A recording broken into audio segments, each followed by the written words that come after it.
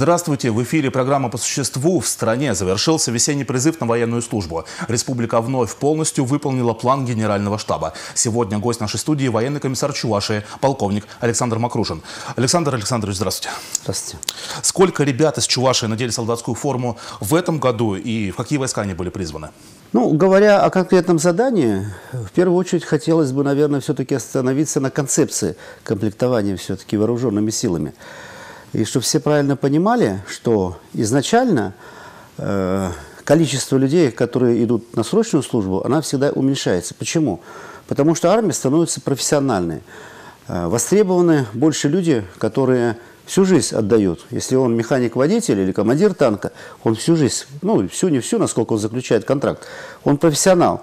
Не так, как мы раньше, когда я был командиром взвода, роты, батальона, мы готовили солдата, там, учились стрелять, водить, все. Только вот достигли цели, вот он научился, он раз уволится, опять молодые приходят. И мы еще тогда думали в свое время, почему же нельзя вот это вот сделать, чтобы были профессионалы. Наконец-то это осуществилось. Задание нам было установлено 1344 человека, и ровно столько же, один в один, мы и выполнили. То есть задание мы выполнили. Говоря о цифрах, можно еще что отметить, что э, из них, из этих ребят, э, 1066 человек ушли в вооруженные силы. 278 э, человек ушли в Нацгвардию, такие наиболее крупные формирования. Все остальное это э, и МЧС, ну, а все остальные структуры, будем так говорить. Значит, из числа отправленных вооруженные силы 270 э, человека, а это более 20%, ушли ребят с высшим образованием. А, помимо этого, 145 а, ребят, это около 11% ребят уже подготовленных по УЗ. Это ребята, которые прошли уже со специальностями. Они, а, как правило, как правило, это большей своей части, это водители категории, разных категорий, то, что востребовано вооруженных силами. То есть очень важна составляющая ДОСАФа в связи с тем, что срок службы очень маленький. Вооруженные силы не имеют возможности подготовить хорошего специалиста. Возможность э, пойти служить по контракту теперь появилась и у граждан со средним специальным образованием. Э, это новелла, и на какие все-таки должности они могут э, рассчитывать? С мая 2017 года, то есть с этого призыва, Такое право стало и у ребят, которые закончили среднее учебное заведение.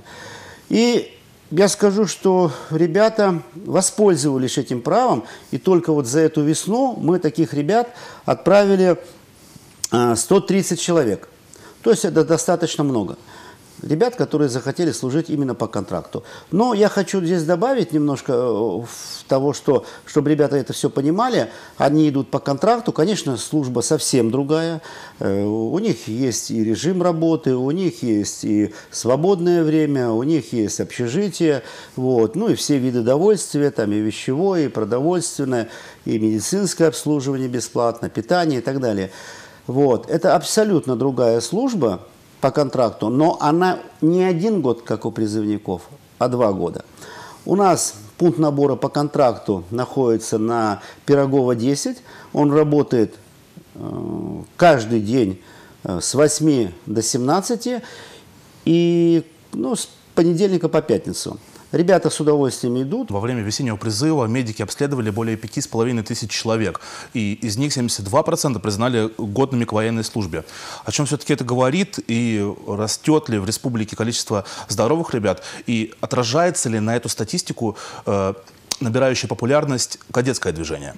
За время призыва у нас работало 26 медицинских комиссий. То есть это получается в каждом районе, в каждом муниципальном образовании.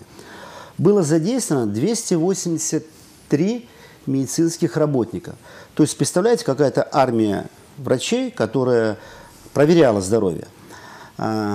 При всем при этом, по сравнению с прошлым годом, процент годности, а у нас есть такая, такой показатель, то есть здоровых ребят, которые могут идти служить без всяких ограничений, вот, и тех ребят, которые не могут служить. Так вот, процент годности у нас стабильно растет. В прошлом году был 69 с копейками, сейчас 70 с копейкой. И перспективы до 2020 года мы должны выйти на 80% эти фоки, которые в свое время были построены, где начали ребята заниматься спортом.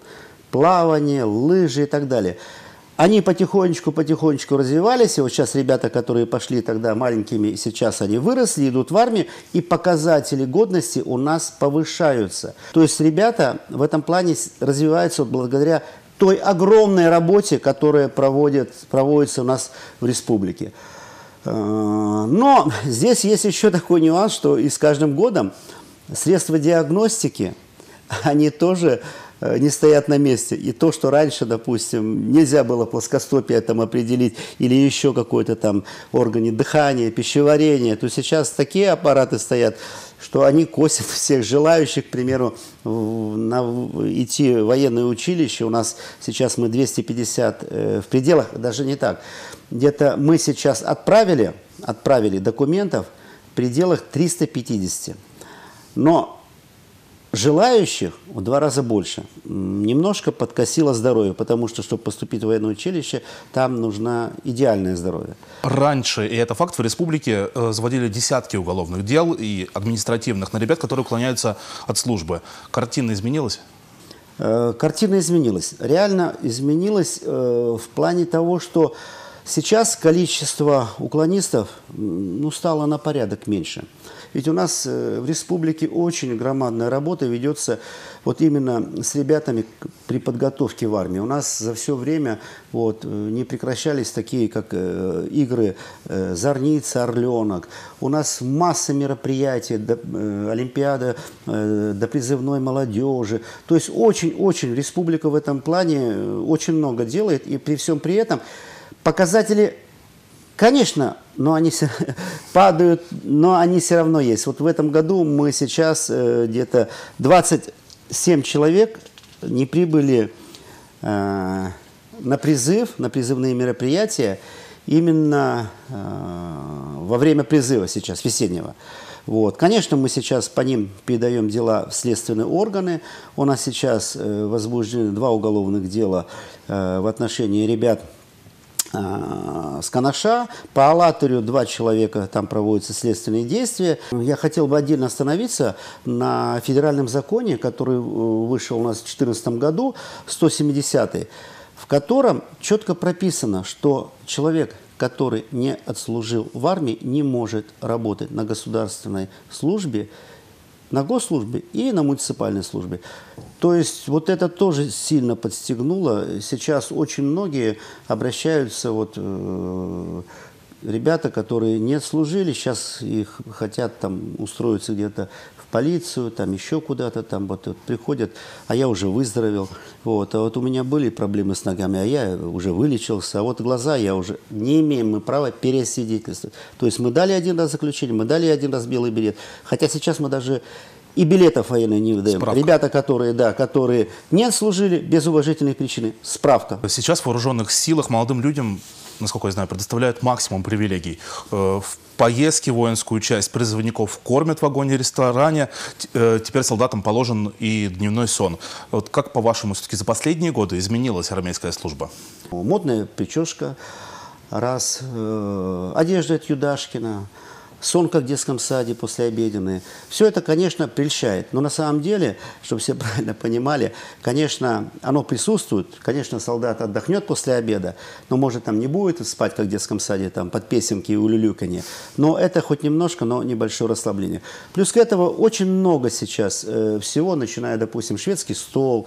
Э, вот э, правильно сказали, если больше суток э, в эшелоне едем, то питание в вагон-ресторане. То есть, ну вот это вот, это самое необходимое. А оно реально сейчас, даже говоря о той же дедовщине, которая раньше была в период такой моей активной службы, взводным, ротным, комбатом и так далее, вот, эти элементы, то сейчас, когда год службы, то ребята, как правило, все комплектуются э, с одного одногодки. Там этого элемента практически уже нет. То есть служить стало и престижно, и на порядок легче. Э, почему? Очень много раньше занимались, э, там, плац мели, картошку чистили и так далее, наряд на работе. Сейчас этого нету ничего. Сейчас человек занимается, у него есть расписание, он в 7 часов встал, на час позже, кстати, мы в 6 вставали. Вот, потом э, физзарядка, утренний осмотр, завтрак и развод на занятия. И весь день он не работает где-то. Он занимается именно, если он снайпер, он тренируется, если инженер, мины закладывает. То есть вот сейчас весь основной аспект это на боевую подготовку. Спасибо за подробный ответ, Александр Александрович. Об особенностях э, весеннего призыва мы беседовали с военным комиссаром Чувашии. До встречи в эфире.